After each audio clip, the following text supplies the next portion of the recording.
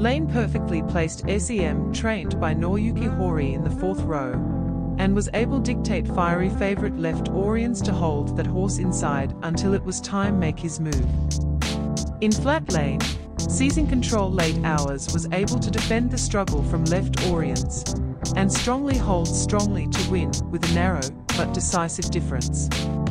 Tastiera took office as the fourth favourite of 9.50 in fixed rate markets, but paid between 15.80 and 5.80 for the three Australian bags. The left Oriens, which had not been defeated before three initially, was sent to 1.60 by Hearts Concerto, which ranked third from 26. The Derby victory became hat-trick for winners for Lane after second second favourite in Jeux d'Eau, with a fixed 3.40 Jeux d'Eau, and Rousham Park, 2, 60s of 10th event he won. On 12 racing cards.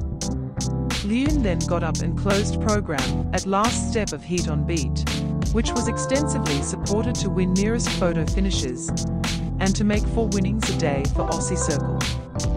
It was a big day for Australian jockeys abroad with Hugh Bowman won the first Group Champions and Chater Cup at Sha Tin. The ride of the Russian Emperor caused great sorrow by defeating the $1.15 favourite romantic fighter with his Australian friend Zac Purton. The Purton card lasted on the card,